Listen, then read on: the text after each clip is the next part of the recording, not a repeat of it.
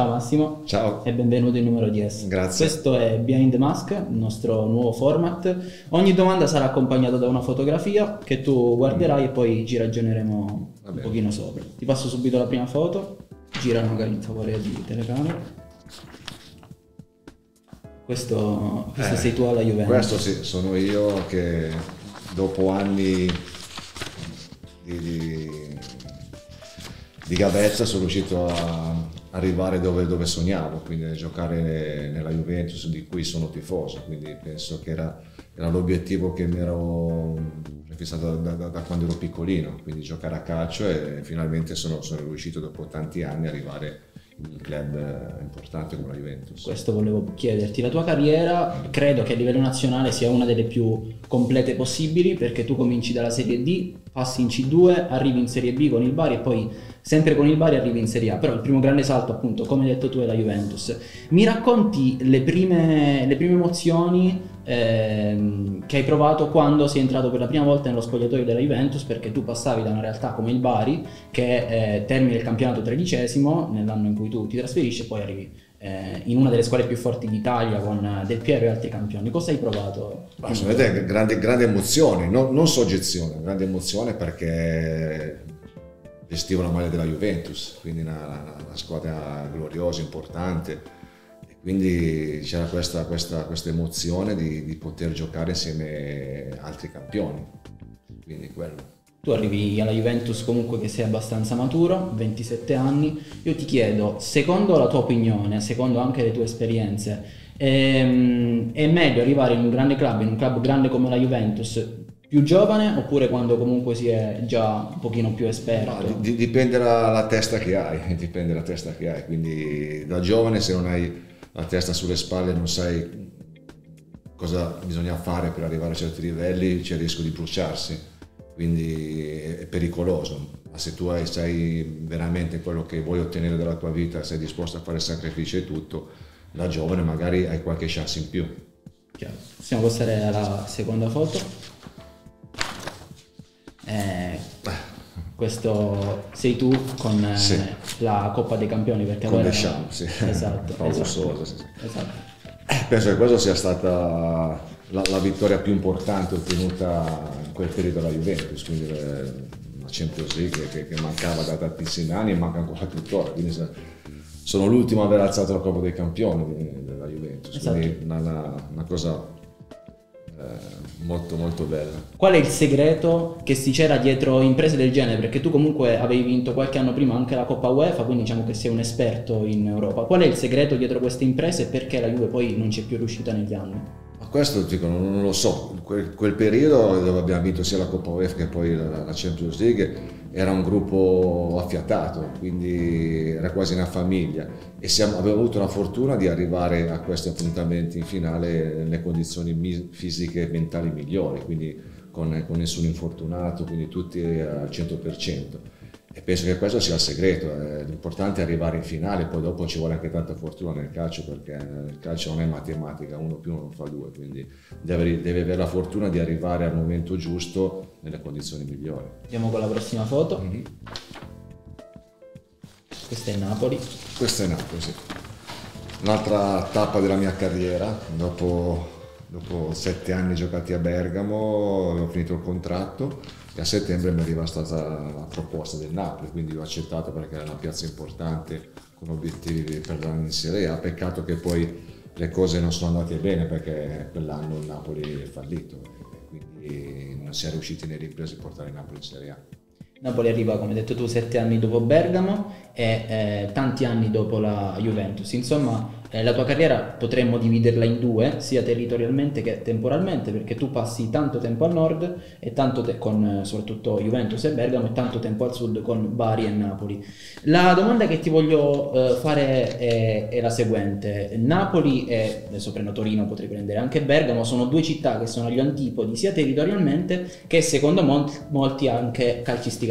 Io voglio chiederti, è davvero così? Ci sono delle differenze che tu hai riscontrato nelle tue esperienze? Sì, ci sono differenze soprattutto da parte del, dei tifosi, eh, dove al sud quando vai in giro se ti riconoscono è, è, finita, quindi perché ti invitano a bere un caffè, ti vogliono invitare, vogliono diventare amici, invece a, al nord puoi passare anche inosservato se qualcuno non è afferrato del, del mestiere, conosce, conosce i giocatori del calcio, mentre al sud è quasi impossibile perché tutti sanno chi sono i giocatori che appartengono alla squadra. Chiaro, passo l'ultima foto da calciatore. Ecco. Questa è l'Atalanta, l'Atalanta che è arrivata do, dopo la Juve, prima di Napoli, dove ci ho giocato sette anni, dove vivo tuttora a Bergamo, quindi sono, sono, sono diventato quasi bergamasco. È stata una parentesi importante perché sono diventato capitano dell'Atalanta, siamo riusciti a ottenere delle, delle promozioni, fatte delle, delle belle annate. Io sono arrivato a 32 anni sono trovato a rigiocare con dei ragazzi giovani che arrivavano quasi tutti dalla primavera, quindi mi, sono messo a disposizione, ho fatto un po' da chioccia quindi sono riuscito a, trasmettere la mia voglia, nonostante l'età, di, di continuare a vincere. Bergamo è una parentesi importante perché tu diventi capitano, come hai detto, e i tifosi si affezionano talmente tanto a te che addirittura ti dedicano una canzone una cosa simpatica. Com'è nata? Cioè, tu sapevi che ti avrebbero dedicato la canzone oppure è nato un po' tutto. No, è nato, è nato tutto così. Io l'ho, io l'ho scoperto quando, quando, ero a Treviso.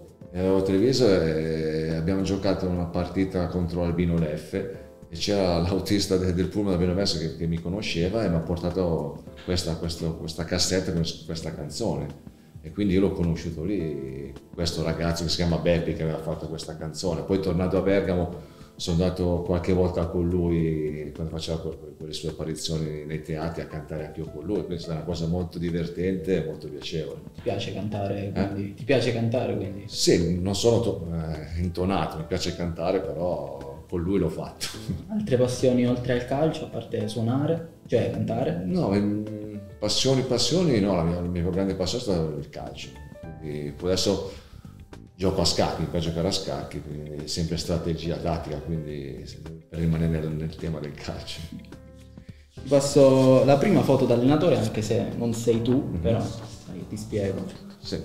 Ah, eh, questa è stata allora, l'altra parentesi che si, che, si, che si è riaperta alla Juve.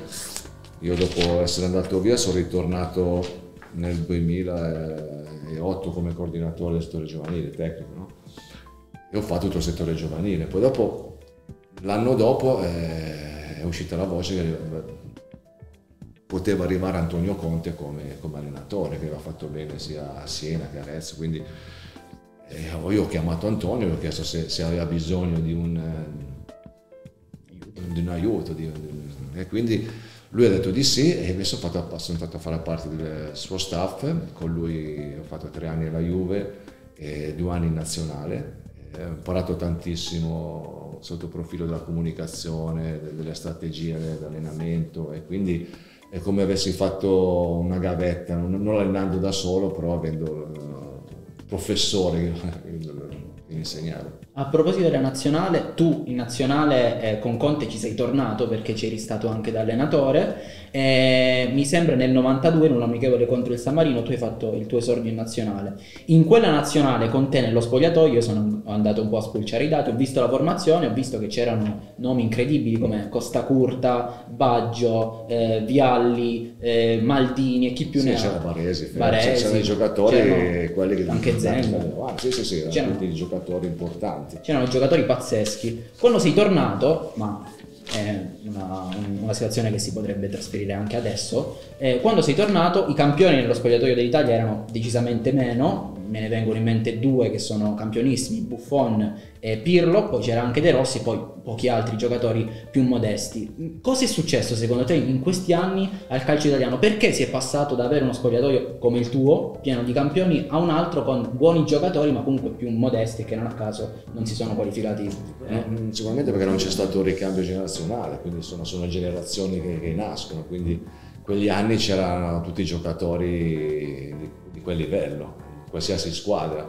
Poi era, era, gli anni dove c'erano pochissimi stranieri in Italia, quindi anche un ragazzo giovane poteva mettersi in evidenza nella squadra. No? Quindi aveva, la nazionale aveva più scelte, aveva più scelte dei, dei, giocatori. Io quando ero con Antonio andavamo a vedere le partite nelle squadre per guardare i giocatori, c'erano delle partite che c'erano dentro solo due italiani, quindi capisci che anche a costruire una nazionale non è stato semplice negli anni passati, passata quell'epoca precedente. Quindi secondo te i settori giovanili hanno una responsabilità, tu che sei stato anche responsabile di questo? Sì, no, i settori giovanili hanno una responsabilità, ma, ma, ma non perché devono formare i giocatori, probabilmente con l'avvento degli stranieri ci sono tante, tante squadre che, che, che, preferiscono gli stranieri, magari un ragazzo giovane o un ragazzo che gioca in Serie C che magari è più bravo di un ragazzo di uno straniero, quindi sono meccanismi che, che delle società che io non capisco. Prossima domanda. Questa è Mosca. Questa è Mosca, se questa è la parentesi dopo, dopo la nazionale, quando, quando, Antonio decise di andare al Chelsea e quindi mm, non sapeva se poteva mandare tutto, se poteva portare tutto lo staff eh, con lui. Nel frattempo mi è arrivata questa proposta da, dallo Spartak Mosca, da, da, da Lenicev, che il giocatore della Roma, che era allenatore dello Spartak, che mi ha chiesto se voleva andare a fare il suo assistente per allenare la difesa perché il presidente dello Spartak voleva un allenatore italiano della, della, che allenasse la difesa. No?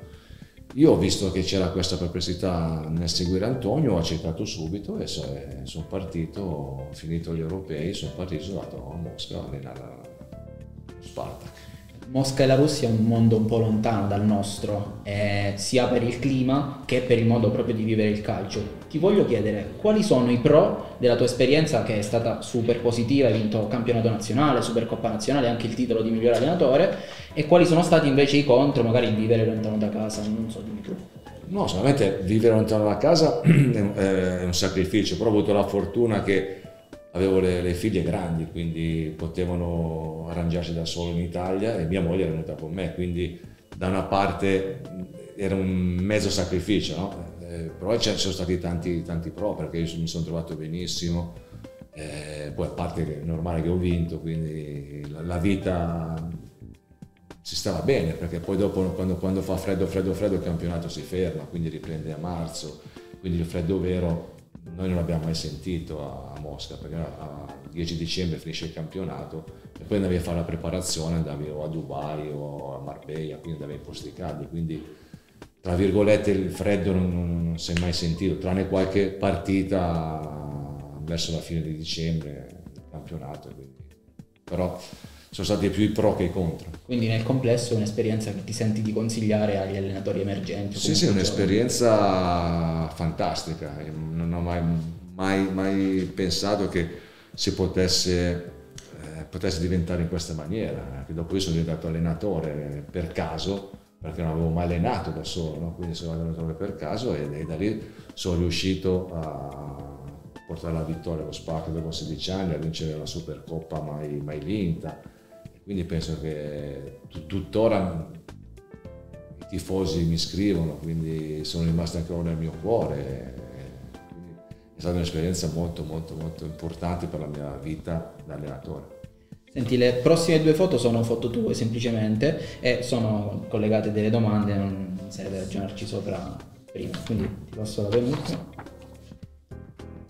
Eh, questo sei tu sulla panchina del Bari e io ti voglio chiedere, dopo quella che tu hai definito una grande esperienza con lo Spartak Mosca, è stata un'impresa di fatto vincere il campionato dopo 16 anni, eh, nell'immediato nessun club italiano ti contatta e tu decidi di fare un'altra esperienza eh, lontano da casa in eh, Grecia. Per quale motivo secondo te i club italiani sono restii nel considerare mh, dei profili come il tuo che si formano altrove, altrove mi, viene in mente, viene in mente tu in questo caso, ma potrei pensare anche a Stramaccioni che ha fatto benissimo in Medio Oriente oppure a Rossi che con l'Ungheria ha fatto dei miracoli. Per quale motivo? Eh, questo, questo, non lo so, forse perché eh, se, se dicono che non conosciamo il calcio italiano, quindi eh, non è esperienza del calcio italiano, però non, non, anche io non riesco a capirlo, quindi come, de, come hai detto te, io dopo, dopo, la Russia ho aspettato un anno e sono andato a finire in Grecia, alla Ecatene, capito? Quindi non, sono, non riesco a spiegarmelo neanche io. Quindi. E quindi dopo Atene, anche lì ho aspettato e l'unica proposta che ho avuto è stata Bari, quindi io non, non ci ho pensato due volte perché ho giocato 5 anni, quindi è stata più una scelta di cuore che di... Un ritorno a casa. Sì, sì, sì, una scelta di cuore perché non, non, ho, non ho, guardato la squadra che c'era, se, se, se, il mercato era chiuso, quindi non si poteva migliorare, quindi ho detto io vado, non mi interessa perché quello che ho ricevuto quando ero giovane da, dai tifosi, dalla città, da tutto, volevo darlo ad, aiutandoli, no? Poi dopo è andata come è andata, però sono contento di averlo fatto e lo rifarei ancora. Okay, ultima domanda di questa prima parte dell'intervista, eh, sei sempre tu, qui abbiamo parlato di passato, di presente e adesso mi piacerebbe parlare di futuro. Guarda questa foto e immaginati, magari non lo so, tra dieci anni, dove, dove ti immagini appunto, Cosa, quali sono i tuoi obiettivi per il futuro? No, sicuramente il, il primo obiettivo per futuro è ritornare a allenare, sicuramente mi piacerebbe mettermi come si dice, alla prova in Italia, no? visto che non ho mai avuto questa, questa possibilità. Sicuramente mi piacerebbe mettermi alla prova, però eh, iniziando all'inizio stagione, quindi facendomi una squadra come voglio io, perché io sono sempre stato, sono sempre subentrato, no? quindi sono sempre dovuto arrangiare con squadre costruite da altri e poi dopo ho modellato con, con la mia metodologia, con, con la mia tattica. Con, però ho sempre ricevuto in eredità una squadra costruita da altri. Mi piacerebbe questo. Sicuramente non, se ci fosse una richiesta dall'estero non ci penserei due volte, andrei subito perché mi piacciono queste, queste sfide quindi il mio obiettivo è quello di, di tornare a allenare. Allora ti passo questo foglio, ti do anche la penna, magari fallo vedere Ecco, come puoi vedere in alto ci sono delle categorie mm. e in basso tutte le regioni nelle quali hai giocato. Molto semplicemente mm. per ogni categoria spunti la regione nella quale ti sei trovato meglio e ci spieghi anche il perché. La prima è il cibo. Vabbè, il cibo da tutte le parti, però penso che il cibo sia, sia la Puglia, sia la Puglia i panzerotti. Sì, ma, no, ma tutto, poi ma anche il pesce, il pesce, io divento matto per il pesce crudo, quindi Devo fare la X? Sì, sì. Farlo vedere in camera. Quindi il cibo penso sia la Puglia sicuramente. Il clima, Lombardia, Piemonte, perché sono, a me piace più il freddo che il caldo. Quindi... Tipo da montagna che da mare. Sì, sì, sì, sì, mi piace molto più il freddo. Più freddo. Le tifoserie... Calore delle tifoserie. La calore, sì, sicuramente campagna, campagna perché la tifoseria del Napoli era, era quella più calda. Poi, pianti sportivi. Pianti sportivi, ma penso in Lombardia. Lombardia. Vita notturna, la vita notturna, io non è che, no, non è che ne, ho fatta, ne ho fatta molta di vita notturna perché dovevo scegliere o giocare a calcio o fare vita notturna perché, perché avevo un'altra mentalità, quindi penso che sia sempre sempre a Lombardia con, con, con, Milano, perché io sono vicino, vicino, a Milano, quindi penso che sia la città per eccellenza. La regione preferita nel complesso, in base alle tue esperienze, come ti sei trovato? La regione preferita è la Lombardia, perché sono lombardo, sono... e quindi è questa. Grazie Massimo. Grazie a voi. Grazie a voi. Grazie.